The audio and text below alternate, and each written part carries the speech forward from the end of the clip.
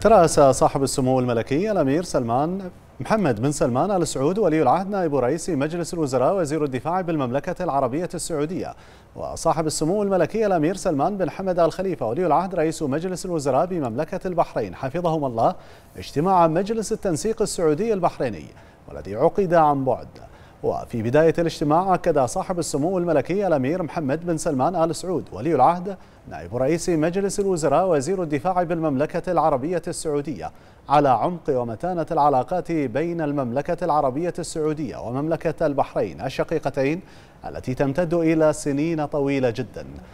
مقدما التهنئة لصاحب السمو الملكي الأمير سلمان بن حمد آل خليفة ولي العهد رئيس مجلس الوزراء بتعيينه رئيسا لمجلس الوزراء وتمنياته باستكمال جهوده السابقة لتحقيق رؤية البحرين الاقتصادية 2030 لبناء حياة أفضل للشعب البحريني الشقيق. وعبر صاحب السمو الملكي الأمير محمد بن سلمان آل سعود ولي العهد نائب رئيس مجلس الوزراء وزير الدفاع بالمملكة العربية السعودية عن سعادته بإنشاء هذا المجلس وإسهامه بشكل فعال ومثمر في تعزيز أواصر العلاقة والأخوة بين البلدين الشقيقين. وأشار صاحب السمو الملكي ولي العهد نائب رئيس مجلس الوزراء وزير الدفاع بالمملكة العربية السعودية إلى ما يوليه خادم الحرمين الشريفين الملك سلمان بن عبد العزيز آل سعود عاهل المملكة العربية السعودية وأخوه جلالة الملك حمد بن عيسى آل خليفة ملك البحرين. حفظهم الله. من اهتمام بالغ بالدفع بالعلاقات الثنائية إلى آفاق أكثر شمولا. والنظر إلى هذا المجلس إلى أنه المظلة التي يتم من خلالها تطوير العلاقة بين البلدين للارتقاء بالمسؤولية للتعاون في جميع المجالات وفق عمل مؤسسي منتظم ومستدام في المجالات السياسية والاقتصادية والأمنية والعسكرية والاستثمارية والتنموية والثقافية. ما يحقق المصالح المشتركة وفق تطلعات القيادتين والشعبين الشقيقين. وأكد صاحب السمو الملكي الأمير محمد بن سلمان آل سعود أن التوجيهات السديدة أفضت ولله الحمد إلى تحقيق نتائج مثمرة على كافة الأصعدة معبرا عن الارتياح للتنسيق الوثيق بين البلدين حيال القضايا الإقليمية والدولية في مواجهة التحديات التي تواجه المنطقة وتواجه البلدين والمحافظة على مصالح البلدين وأمنهما واستقرارهما. معربا عن الثقة أن هذا الاجتماع الذي سيتم فيه إقرار الإجراءات التنظيمية لأعمال المجلس سيمهد لانطلاق أعمال لجانه وعرض نتائجها في اجتماعات مقبلة. مقدما الشكر لصاحب السمو الملكي الأمير سلمان بن حمد آل خليفة ولي العهد رئيس مجلس الوزراء وأصحاب المعالي أعضاء المجلس على الجهود المبذولة للإعداد لهذا الاجتماع. من جانبه قال صاحب السمو الملكي الأمير سلمان بن حمد آل خليفة ولي العهد رئيس مجلس الوزراء. نثمن عاليا قرار خادم الحرمين الشريفين الملك سلمان بن عبد العزيز آل سعود عاهل المملكة العربية السعودية الشقيقة حفظه الله برفع مستوى التمثيل لمجلس التنسيق السعودي البحريني وترحيب حضرة صاحب الجلالة الملك حمد بن عيسى آل خليفة ملك مملكة البحرين المفدى حفظه الله ورعاه بقرار رفع مستوى التمثيل وهو ما يؤكد بأن قواعد ومنطلقات التعاون والتكامل والترابط تحظى بعناية خاصة واهتمام كبير من خادم الحرمين الشريفين الملك سلمان بن عبد العزيز وأخيه الملك حمد بن عيسى حفظهم الله ورعاهم.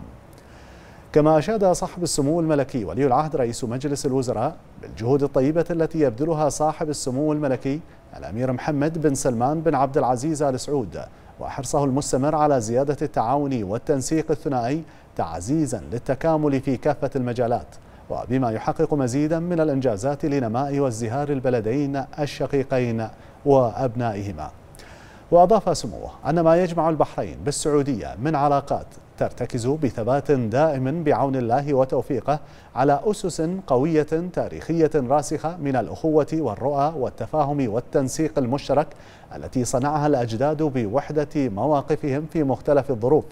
ونحن اليوم بإذن الله من خلال أعمال هذا المجلس سنحرص على مواصلة هذا النهج بالتلاحم ذاته ذاته بعزيمة متجددة دائما لتأسيس ورسم ملامح حاضر ومستقبل واعد. مستندين إلى ما يجمعنا من أواصر متينة ومصير مشترك. كما أكد سموه بأن إنجازات المملكة العربية السعودية ومملكة البحرين المتعاقبة والتي أنجزت بعزم وعطاء أبنائهما يدفع لتعزيز العمل المشترك لاستدامة اقتصادنا على أسس التنافسية والعدالة والانفتاح وتمكين بيئة تكافؤ الإبداع والابتكار وتخلق فرصا واعدة للازدهار. بعد ذلك أعرب صاحب السمو الملكي ولي العهد رئيس مجلس الوزراء عن صادق تمنياته بأن تتكلل أعمال هذا المجلس التنسيقي بالتوفيق والنجاح ومزيدا من المنجزات للبلدين الشقيقين.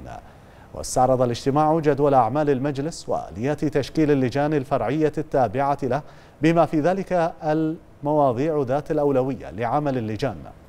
وتم خلال الاجتماع إقرار تشكيل لجان فرعية للعمل على المواضيع والمبادرات التي يقرها مجلس التنسيق المشترك وهي لجنة التنسيق السياسي والدبلوماسي لجنة التنسيق الأمني لجنة التنسيق في مجالات التجارة والصناعة لجنة التنسيق في مجالات الثقافة والإعلام والسياحة والتنمية الاجتماعية لجنة التنسيق في مجالات الاستثمار والبيئة والبنى التحتية.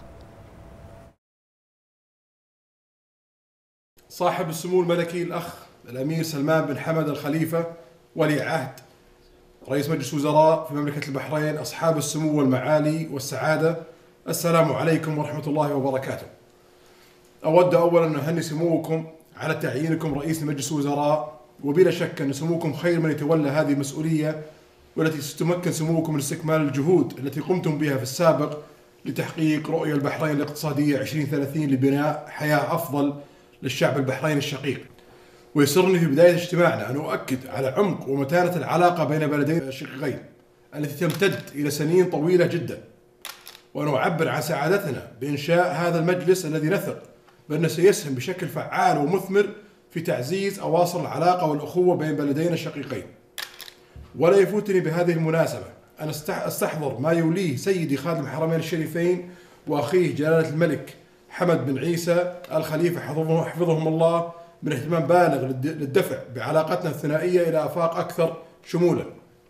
ونحن الآن ننظر إلى هذا المجلس على أنه المظلة التي سيتم من خلالها تطوير العلاقة بين البلدين للارتقاء بالمسؤولية للتعاون في جميع المجالات وفق عمل مؤسسي منتظم ومستدام في المجالات السياسية والاقتصادية والأمنية والعسكرية والاستثمارية والتنموية والثقافية.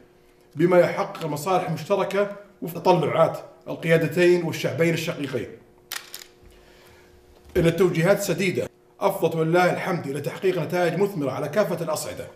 وفي هذا الخصوص نود أن نعرب عن ارتياحنا للتنسيق الوثيق بين بلدينا حيال القضايا الإقليمية والدولية في مواجهة التحديات آه، التي تواجه المنطقة والتي تواجهنا والمحافظة على مصالحنا وأمننا واستقرارنا.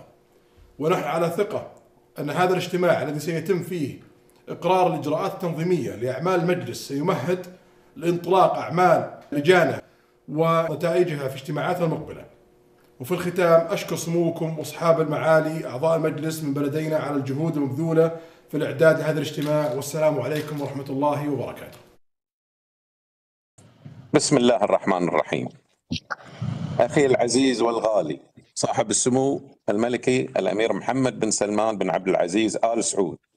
ولي العهد نائب رئيس مجلس الوزراء وزير الدفاع بالشقيقة الكبرى المملكة العربية السعودية. أصحاب السمو والمعالي والسعادة أعضاء المجلس. السلام عليكم ورحمة الله وبركاته. في البداية أثمن عاليا قرار جلالة الملك سلمان بن عبد العزيز آل سعود حفظه الله ورعاه وترحيب جلالة الملك حمد بن عيسى آل خليفة حفظه الله ورعاه لرفع مستوى التمثيل لهذا المجلس. كما أشيد يا صاحب السمو الملكي بجهودكم الطيبة وحرصكم المستمر على زيادة التعاون والتنسيق الثنائي. إن ما يجمع البحرين بالسعودية من علاقات ترتكز بثبات على أسس قوية صنعوها الأجداد بوحدة مواقفهم في مختلف الظروف. ونحن اليوم بإذن الله من خلال أعمال هذا المجلس سنحرص على مواصلة هذا النهج لتأسيس حاضر ومستقبل واعد.